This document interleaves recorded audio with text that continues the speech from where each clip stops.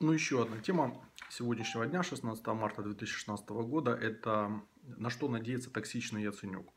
Э, почему токсичный? Потому что он превратился в субъекта, который всем отравляет жизнь, всем мешает и не позволяет разрешить коренные противоречия в политической и экономической системе э, Украины. Но при этом он прекрасно осознает, э, что его уберут, и по большому счету для Яценюка сегодня выбор заключается в том, чтобы сохранить э, позиции, которые позволят ему реинкарнироваться на следующих циклах политической жизни. Поэтому он сражается не за кресло премьера, он прекрасно понимает, что там дни его сочтены, но он э, сражается за то, чтобы дождаться такой ситуации, когда его уход не будет окончательным. То есть он выскочит там либо в Верховной Раде, либо на какой-то другой позиции. И для него это является ключевым, потому что он уже игрок, э, он э, хочет э, видеть себя в какой-то перспективе. И тут не вопрос ключевой для него в том, чтобы там любой ценой сидеть в кресле премьера, либо оказаться в кресле главы НБУ, там, либо кого-то еще. Вот и вся суть ситуации.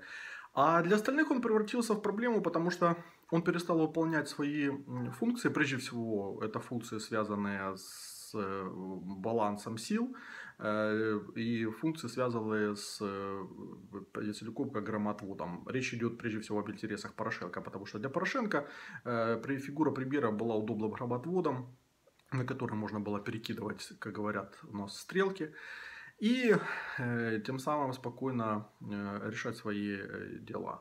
Э, но э, вторая принципиальная важная функция, это функция э, баланса сил, она важна с точки зрения того, что никто не должен монополизировать э, власть, как это э, чуть ли произошло при Януковиче. И Порошенко, который имеет сильную э,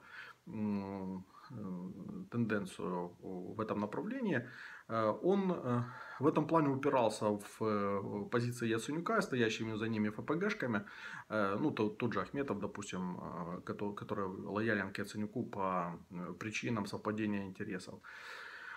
Коломойский и другие игроки. И таким образом Э, таким образом, вот э, э, обеспечение со стороны Цунюка баланса сил делало, его выгодным для других партнеров. Но поскольку за два года правительства Яценюка или два правительства Яценюка не добились каких-то очевидных успехов, а это было опять-таки невозможным не только по причине того, что Яценюк не хотел, но и по причине того, что власть фрагментирована между различными финансово-промышленными группами и центрами влияния, то Э, мы видим, что его рейтинг свалился в нулю, э, к нулю легитимность резко упала, он стал, превратился в раздражающий фактор для населения, следовательно, он превратился в проблему для всех.